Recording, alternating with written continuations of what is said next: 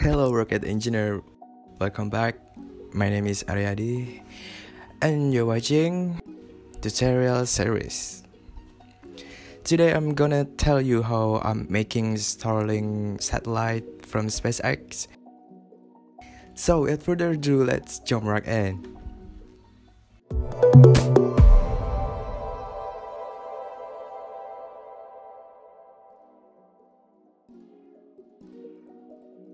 The first one, as usual, you need to grab all the parts you need from the side panel. So you don't need to search the part and scroll, scroll, scroll. We gonna need the fuel tank, the ion engine, the probe, and the solar array. Because the Starlink satellite it consists of several parts, but mostly in SpaceX we just need this part. This is the final result of this Starlink satellite and it has ion engine, a single solar array and of course the flat design so it can be stuck inside a Falcon 9 fairing. So to the first one we need to modify the probe. Um, as usually I'm using 0.1001 and the next one is the fuel tank because we need to stack all the satellite maybe um, at least 30 satellite. So the satellite mass is a big concern. Just to make sure all the part we use is not more than just one metric ton. As you can see here its past maybe 0.5 tons. And here I'm making the body of the satellite. It just consists of the fuel tank and I'm trying to cover the ion engine with the fuel tank. It had a flat design and the ion engine is the circle shape so it's look weird. So I need to cover the ion engine a little bit using the fuel tank here I'm just modifying the XY value without changing the width property of the part because it will change the mass and the fuel inside it.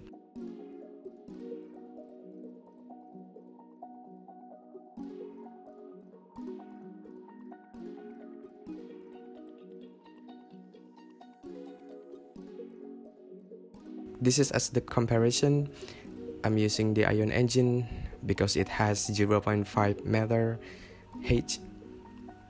So I'm designing this. the Starlink is pretty pretty flat, pretty pretty small, but it has many parts inside of it.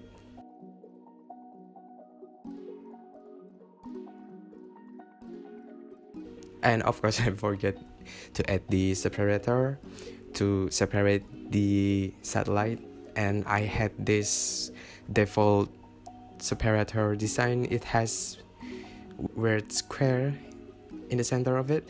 So I just change it to the black color and the decoration is gone.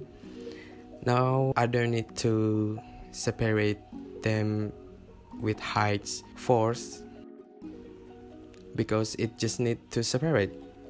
So I'm using the small separator but just modify the x value of it next one is I'm modifying the solar panel and resembling all the part together. Maybe a little bit to left.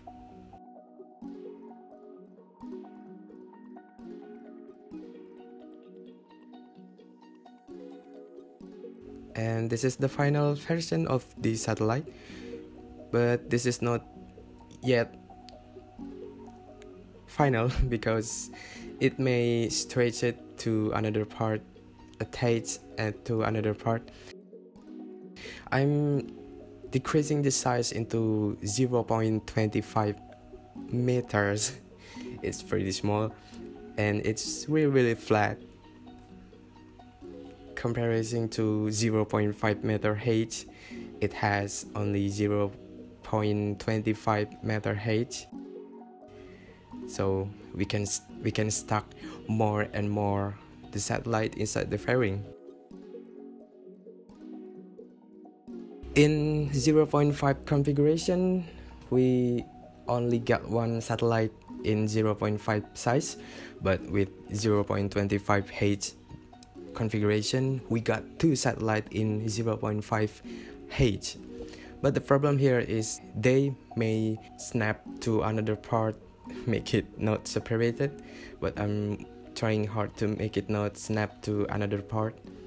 And now trying to start and set the staging. Now I'm trying to launch it and make sure they are separated during deployment. And it's not working. Maybe we can make the, the part is a little bit smaller I'm here trying to make the fuel tank smaller. So let's try again. Let, let's start and set the staging and launch. Will this work? And it's working well. That's that's pretty small change to make the part is separated well. And the solar panel is working. The ion engine is working all the part is working well but maybe the center of mass will be nightmare because the solar panel is deployed. But when it's retracted it's working well and you can precisely place it on specific orbit or altitude. All right now we're trying to but maybe we can make the part slightly bigger and trying to stack them as in the real life one. Maybe it is enough. Activate the symmetry and place them like this.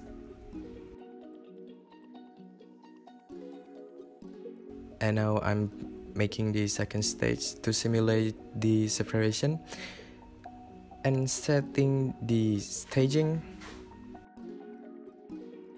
And launch will it work?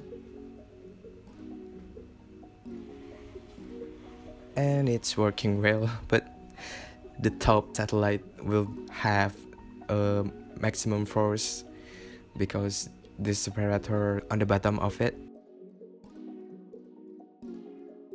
because the new Starlink had the white holder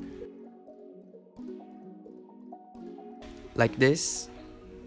So I'm making it from fairing and decrease the X value and add strut to make sure the top satellite not separated to 4 now let's test it engine and fairing and it's working well.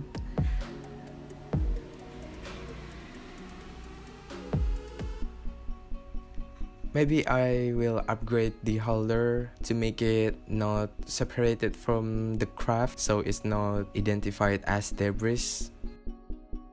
And that's it for today's video. And thank you for watching this video. If you like hit that like button and comment what you thought in the comment section below and you can download this blueprint from the link in the description below and make sure to share this video to your friend and of course subscribe to Skyride Space and please consider to support my work in Patreon. You can find the link in the description below.